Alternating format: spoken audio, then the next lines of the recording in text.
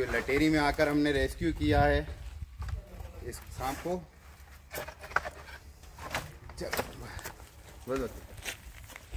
लाओ, डब्बा दे दो बंद करने।